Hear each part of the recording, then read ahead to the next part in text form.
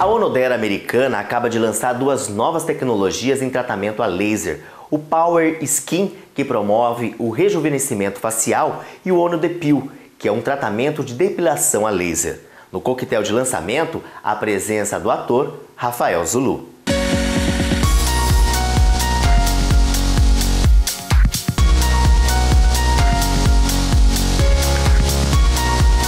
Rejuvenescimento facial, técnicas exclusivas e rasante de ator global.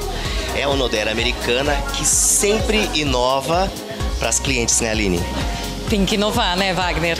As clientes já esperam, porque no primeiro semestre de todo ano a gente oferece um lançamento é, facial, que é a época propícia, né, para cuidar da face, menos incidência de raios solares. E lógico que a gente tem que trazer uma tecnologia de ponta dos Estados Unidos com uma presença nobre quando o Rafael Zulu, né?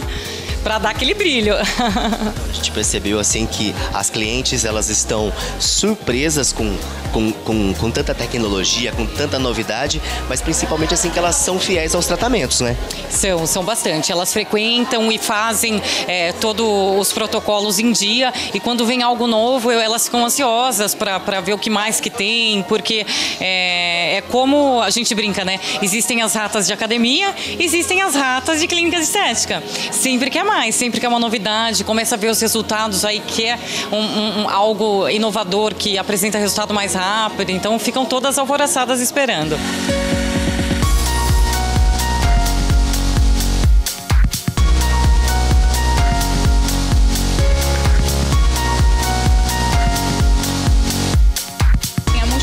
Plataforma é um lançamento brasileiro com várias tecnologias, tanto dos Estados Unidos quanto do, de Israel, da Coreia, e aí isso traz benefícios aos nossos clientes. Esses benefícios em relação à aplicação, a tempo de recuperação, a tecnologia e eficácia também dos tratamentos.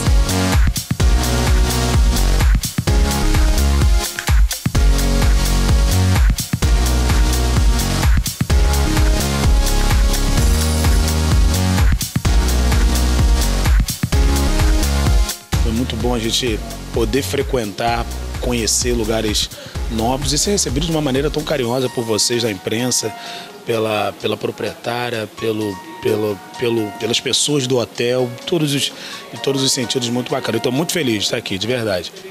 A gente sabe aqui que é um local de beleza, de estética. Homem também tem que se cuidar? Ora, como não? Você aí, todo bonitão, se cuidando. Óbvio que tem, e, e, eu não vou dizer que eu não me cuido, obviamente que eu me cuido também.